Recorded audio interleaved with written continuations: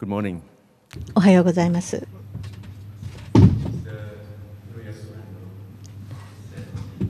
国際交流基金の安藤理事長、森美術館派の森会長、森アートセンターの藤井会長、森美術館の森館長、お集まりの皆様、すべてのスピーカー、そして来賓を代表いたしまして、御礼を申し上げたいと思います。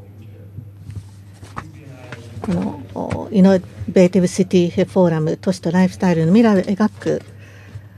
にお招きに預かり大変光栄でございます。まずこの素晴らしい国際会議を主催していただいたこと心からお祝いを申し上げます。創造都市そして創造経済という精神が今台頭しつつある中でこのようなフォーラム開かれるということは本当に深遠なる意味を持っているかと思います。やはり都市や都会におけるライフスタイルの未来をどのように設計していくのかということにまつわるさまざまな議論をするということは我々のますます複雑かつ錯綜する世界の中では貴重な議論になるかと思います。10年前私は森美術館の開設にあたって開かれたハピネスアートに見る幸福への鍵と題した展示会に参加することができました。本当にもう歴史的な瞬間だったと言えるでしょう。国際的なそして日本人の芸術家にとっても本当に大勢集まりました。六本木フィルムズヒルズは文化の遊び場派としての大胆な実験興奮するをするような素晴らしい場に変わっていたのであります。当時森ご夫妻に会うことができました。もう絶え間ない努力をされて森美術館を変貌させたそして世界の中でも最も有力なイノベーティブシティに東京を変えた方々でいらっしゃいます。森実氏のビジョンがロッピングヒルズを東京のまさに鋭い思考をもとにした都市再生の魔力の中心に据えられたのであります。六本木アートトライアングルは東京の文化派の革新となりました森美術館そして六本木はあこの森美術館が52階53階という場所法に位置をしているで、えー、国際的なその文化のまさに、えー、中心となっていたのであります。えー、森氏の言葉を引用しますと人々が現代美術を見るように東京法についてもじっくりと見てほしい。もし自然が神によって作られるものとするならば芸術作品そして都市は人間が創造したものである。現代美術そして都市は今の時間派に作られたものである。私は人々に我々の時代の両方の側面を見てほしい。何を感じるのかなぜを考えるのか。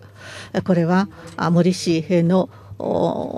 ヒルズ挑戦する都市と題した著作から取らせていただきました。この革新的な思考法が六本木ヒルズのような歴史的ないわばランドマークを作るのに導いたと言えるでありましょう。東京を世界に向かって大きく PR したと言えるでしょう。森美術館を通じて東京の持つ魔力がパッケージ化されそしてまさにプロモーションされたと言えるでありましょう。このヒルズというブランドはアジアでも世界でも非常に人気を博すようになりました。東京を訪れる人々は必ず森タワーの52階53階に行かざるを得ないということです。で自分の写真を撮るあるいは団体写真を撮らざるを得ないそれだけの魔力魅力を持っているというなりましょう。都市はまさに革新的になっている独創的な人々が独創的な都市を作っているからであります。森ご夫妻のような優れた方々派の先見的的平なその思考がこのようなことを導いた文化派の遺産を教育や経済や社会を推進するものとして役立てているということでありましょう。でまさにこういう文化遺産と現代美術とデザインを融合させて経済価値を高めたと言えるでありましょう文化資産が文化資本になってクリエイティブエコノミーとして世界中に広がっているということです。2012年にタイの国際クリクリエイティブエコノミーフォーラムグラントゥグラウンド地元の価値を補足するそしてグローバルなインパクトを創造すると題したものでしたけれども世界中からスピーカーが集まり中小企業からもう壮大な概念いわゆる創造都市そしてガストロミーへの都市ということをテーマに創造経済のポテンシャルを探りました。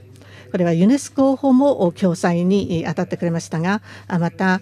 このワイポそしてタイの文化省も共催をいたしましたクリエイティブ経済編がどのようなものを知的財産あるいは革新そして着想ということに関連して新たに作り出すのかということについて大いに議論が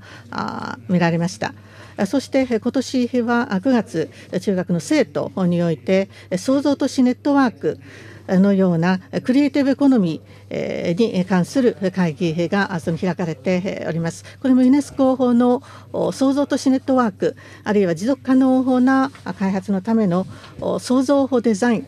ということをテーマにしておりましてグッゲンハイム美術館あがあまた先週バンコクで会合を開かれました。またアブダビ兵の新しいグッゲンハイムあるいは中国についての議論が見られました。あこれまで長年にわたって非常にクリエイティブな方々を集めていろいろなあ優れた議論を展開されているということこれを感謝申し上げたいと思います。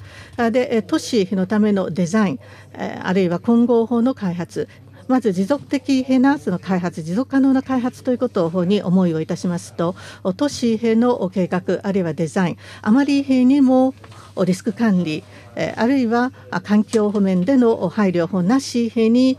えー、あまりにも人口が過剰になりすぎるということも避けなければならないということです。都市をアートデザインそして都市計画をもとに、えー、作り上げていくということが必要であります。カオスと創造性というのは時には同義語となりうるそして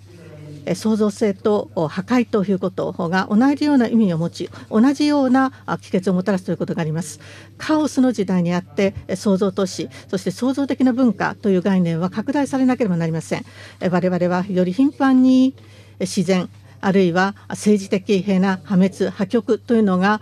突如として力を持って襲いかかるという時代に住んでいるのです。革新的であるためには都市は洪水あるいは地震津波火山の噴火あるいは地滑り政治的な不安そしてペストや戦争法などが襲ってくるということに耐えるだけの力を持ちなければなりません。文化的平なその創造性あるいはそのライフスタイルということは経済成長と切っても切り離せない関係がある。あるいはあこの雇用法の創出あるいは所得とも切っても切り離せない関係がある。生態系環境そして倫理とも関係があるということです。私の希望でありますけれどもイノベーティブ・シティ・フォーラムの中で新たな答えを独創的な形で知識をもとに文化をもとに生み出せればと記念をしております。我々の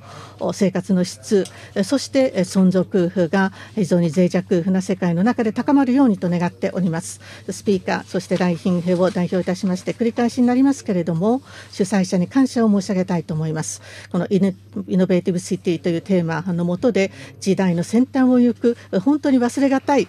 会議を作らせていただいたことを感謝申し上げます。